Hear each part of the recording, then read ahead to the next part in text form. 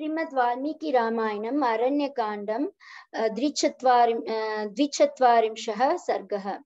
अररीकृत रावणानिदेशो मारीचस्तेन सह रथम् अधिरुह्य रामाश्रमान्तिकं प्राप्तो मायया विचित्रमृगपरिगृहमाचरन् आश्रमाभ्यासे चिक्रीड।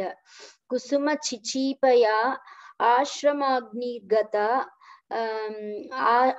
आश्रमान् निर्गता वैदेही तं ददश एवमुक्त्वा तु परुषं मारीचो रावणं ततः गच्छ गच्छावेत्यब्रवीद्दीनो भयाद्रात्रिं चर प्रभोः दृष्टश्चाहं पुनस्तेन शरचापासिधारिणा मद्वदो मद्वदो यद्यतशस्त्रेण निहतं जीवितं च मे न रामं प्र- पराक्रम्य। जीवन् प्रति निवर्तते वर्तते प्रतिरूपोऽसौ। mm, यमदण्डहतस्य ते किन्तु कर्तुं मया शक्यम् एवं त्वयि दुरात्मनि, एष गच्छाम्यहं तात। स्वस्ति तेस्तु निशाचर, प्रहृष्टस् त्वभवत्तेन वचनेन स राक्षसः, परिष्वज्य सुसंश्लिष्टामिदं वचनमब्रवीत्। एतच्छ चौटीर् ययुक्तं ते मच्छन्दवशवर्तिनः इदानीमसि मारीचः पूर्वमन्या हि राक्ष पूर्वमन्यो हि राक्षसः। आरुह्यतामयं शीघ्रं खगो रत्नविभूषितः मया सह रतो युक्तः पिशाचवदनैः फलोभयित्वा वैदेहीं यदे यथेष्टं गन्तुमर्हसि। तां शून्ये प्रसभं सीताम् आनयिष्यामि मैथिलीं ततस्ततेत्युवाचैनं रावणं ताटकासुतः, ततो रावणमारीचौ विमानमिव तं रथम् आरुह्याययतुः शीघ्रं तस्मादाश्रममण्डलात् तथैव तत्र पश्यन्तौ पत्तनानि पत्तनानि, वनानि च।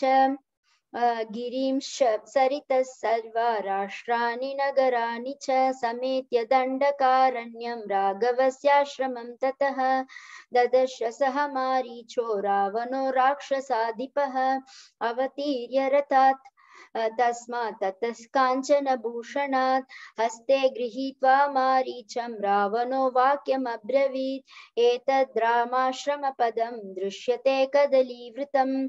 प्रियतां तत्सखे शीघ्रं यदर्थं वयमागताः। स रावण, स रावणवच श्रुत्वा मारीचो राक्षसस्तदा। मृगो भूत्वा आश्रमत् द्वारी रामस्य विचचारः सतुरूपं रूपं समास्थाय। महद्भु महद्भुत दर्शनं महदद्भुतदर्शनम् मणिप्रवरशृङ्गाग्रह सितासितमुखाकृतिः रक्तपद्मोत्पलमुख इन् इन्द्रनीलोत्पलश्रवाः किञ्चित् किञ्चिदुत्पन्न दग्नीव इन् इन्द्रनीलनिबोधरः कुन्देरद्दुवज्रसङ्काशम् उदरं चास्य बाक् भास्करं मधुकनि मधुकनिभया बपाश्वश्च कञ्च किञ्चल कसन्निभः। वैदूर्यसकाश कुरस् तनुजङ्गः सुसंहतः इन्द्रायुधवसवर्णेन पुच्छेनोद्ध्वं विराजितः मनोहरस्नि स्निग्धवर्णो रत्नैर्नानाविधैर्वृतः क्षणेन राक्षसो जातो मृगः। परमशोभनः वनं प्रज्वलयन् रम्यं रामाश्रमपदं च तत्। मनोहरं दर्शनीयं। रूपं कृत्वा स राक्षसः। प्रलोभनार्थं वैदेह्या नानाधातु विचित् विचित्रितं।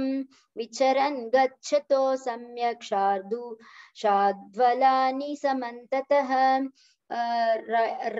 रौप्यैर् बिन्दुशतैश्चित्रं भूत्वा च प्रियनन्दनः विटपीनां किसलयान् भक्षयन् विचचारः। कदलीगृहं गत्वा कर्णिकार कर्णिकारानितस्ततः तमाश्रमं मन्दगतिं सीता सन्दर्शनं ततः राजीवचित्रपृष्टः सविरराच महामृगः रामाश्रमपदाभ्याशे विचचार यथा सुखम् पुनर्गत्वा निवृत्तश्च विचचार मृगोत्तमः। गत्वा मुहूर्तं त्वरया पुनः प्रतिनिवर्तते। विक्रीडंश्च पुनर्भूमौ पुनरेव निषीदति। आश्रमद्वारमागम्य मृगयूतानि गच्छति मृगयूतैरनुगतः पुनरेव निवर्तते। सीतादर्शनमाकाङ्क्षन् राक्षसो मृगतां गतः। परिभ्रमति चित्राणि मण्डलानि विनिष्पतन्। सुमुद्वीक्ष्य च सर्वे तं मृगा।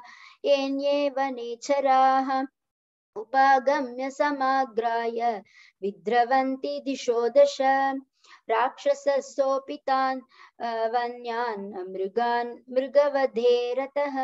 प्रच्छादनार्थं भावस्य न भक्षयति संस्पृशन्। तस्मिन्नेव ततः काले वैदेही शुभलोचना। कुसुमापचयेर्व्यग्रा पादपानत्यवर्तत कर्णिकारान् शोकांश छूतांश मदिरेक्षणा कुसुमान्यपचिन्वन्ति चचाररुधिरानना अनर्हा वनवासस्य सातं रत्नमयं मृगम् पुक्तामणि विचित्रङ्गं ददर्श परमाङ्गनाम् तं वै रुचिरदन्तोष्टं रूप्य धातुत नूरहं विस्मयोत् पुल्लरयना सस्नेहं समुदैक्षत स च तां रामदयितां पश्यन् मायाय, मायामयो मृगः।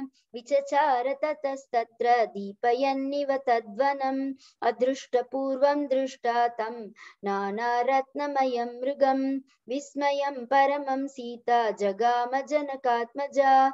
इत्याशे श्रीमद् रामायणे वाल्मीकिये आदिकाव्ये अरण्यकाण्डे द्विचत्वारिंशः सर्गः।